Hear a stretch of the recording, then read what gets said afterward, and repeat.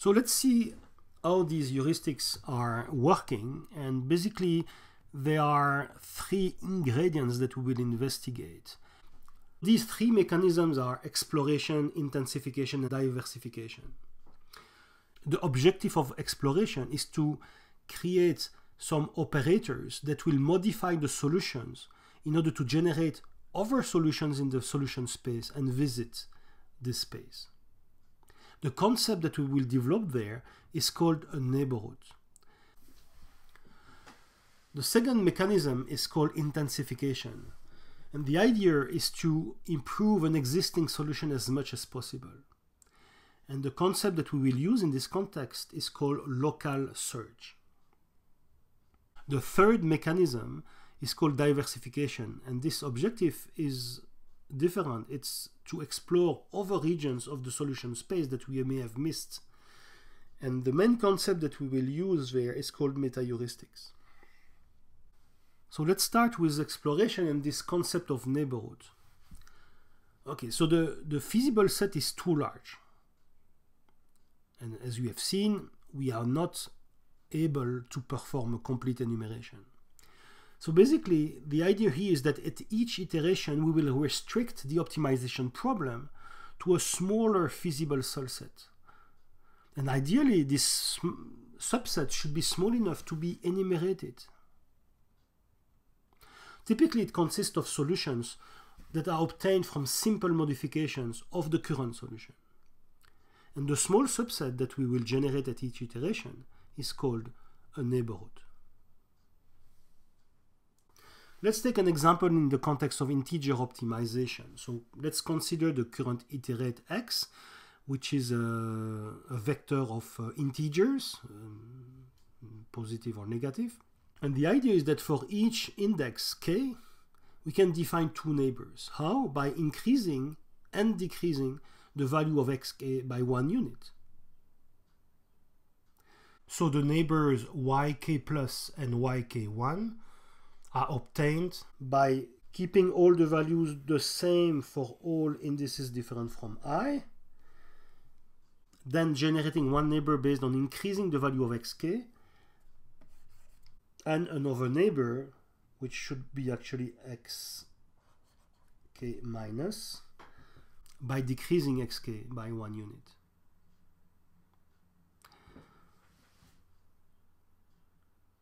So let's take an example. So we have x, which is a vector of entries 3, 5 to 8. And let's generate the two neighbors for index 2. So the value of uh, x2 is 5. Therefore, we have one neighbor which is generated by replacing 5 by 6. And another neighbor which is generated by replacing 5 by 4. So this is as simple as that. Let's illustrate this now on an example with two variables, x1 and x2, so that we can draw it. So x has uh, a value which is integer here. So we take the first coordinate and we generate two neighbors. One that is obtained by increasing the value by 1 and one which is obtained by decreasing the value by 1. And then we do the same for the second coordinate to obtain this neighbor and this neighbor. And as you can see from the picture, you understand why they are called neighbors, right? Because we are just next to the current solution. So this is an example of a neighborhood that can be obtained for integer optimization. Of course, the concept of neighborhood is completely general.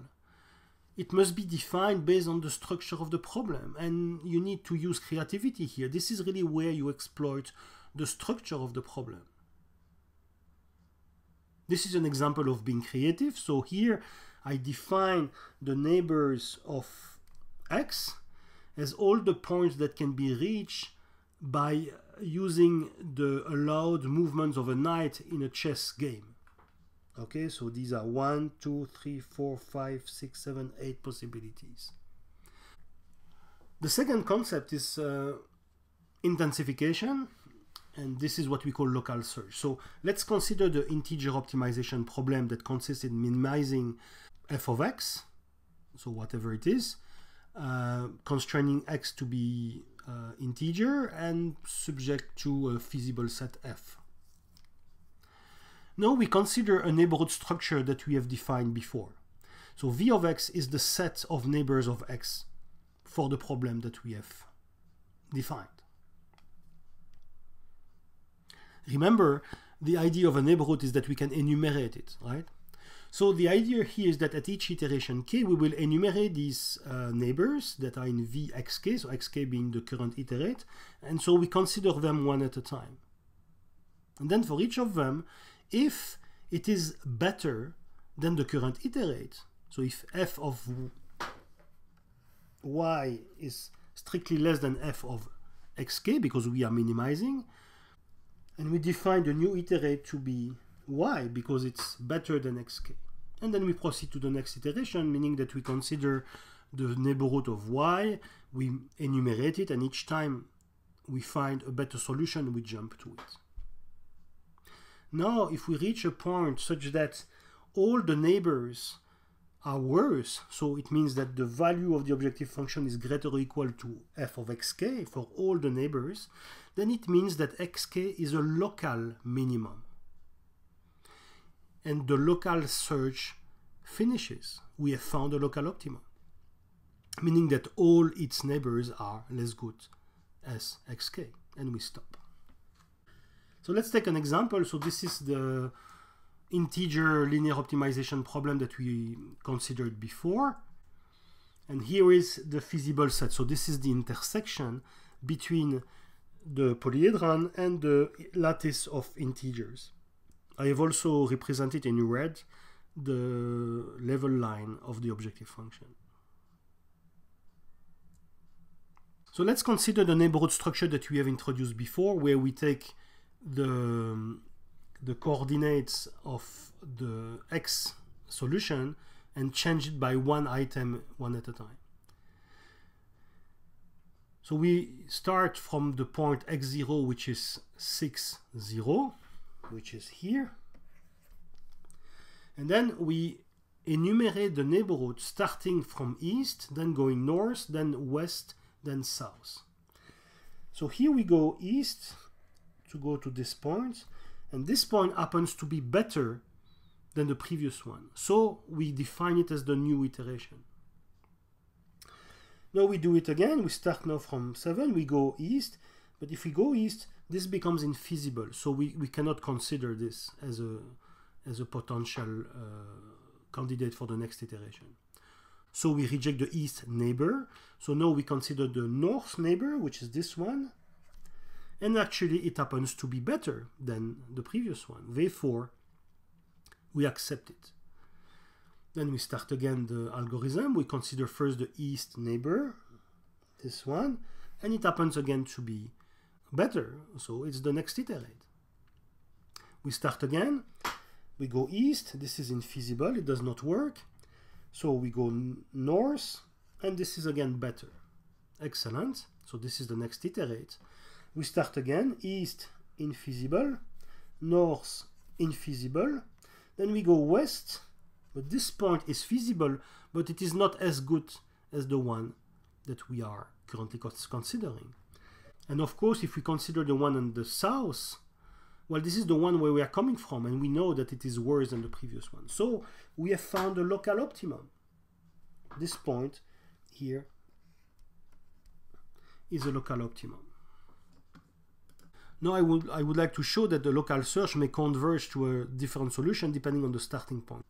We apply the local search algorithm starting from the point x0 equals 0, 3, which is this point. And we apply exactly the same technique. So we first look east. Well, each time in this case, east is feasible and better. So we go down, we go down, we go down, we go down, we go down until here. So here now, we try to go east here, but this is infeasible, so we reject it. Then we go north. This one is infeasible, we reject it. We go west, well, we are coming from this point, and it's worse, it's up, we are going up. And the last one is south, we consider this one, it's also going up. So therefore, this point is a local optimum. And it's different from the one we have found before, as you can see. I would like to show you as well that the point that we obtain as a solution of the local search will be different depending on how you enumerate the neighborhood. So here I will take the exact same neighborhood as the first example and the exact same starting point, 6, 0. But now I will enumerate the neighborhood starting from north, then going west, then south, then east. So if I start from this point, I go north, I go down on a feasible point. From this I go north, I go down into a feasible point, and again here. And now I can check that if I go north, it's infeasible. If I go west, this is going up. If I go south, this is going up. And if I go east, this is infeasible. So I'm reaching, uh, again, a local optimum, but it's a different local optimum than the one that we had before. So let's go back to the slides where we started from 6.0 here. You see that the local optimum is different.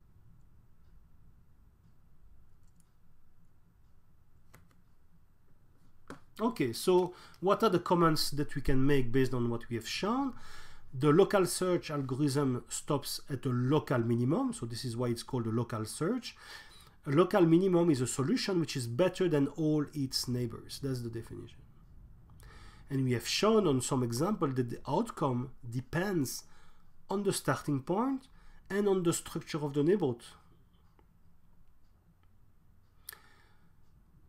So the design of the neighborhood will of course influence a lot the local search algorithm and this neighborhood must be designed in such a way that it is sufficiently large so that you increase the chances of improvement but also sufficiently small to avoid a lengthy enumeration. The example of a neighborhood which, be, which is too small would be uh, just generating one neighbor at the west. This is really a bad neighborhood because it, not only it's too small, but it allows you all to go only into one direction. And an example of a neighborhood which is too large is to define each feasible point as, as being in the neighborhood. But again, we know that this cannot be enumerated, so this is not feasible. The current practice now in recent heuristics is to use quite large neighborhood because of the computer power, we can enumerate larger uh, neighborhoods. So by designing large neighborhoods, you actually increase the, the chances to, to improve the, the current solution. And also, in general, we use symmetric neighborhoods. What does it mean? It means that is if y is a neighbor of x, well, x is also a neighbor of y. It, it makes things more intuitive and also it gives more flexibility to the algorithm.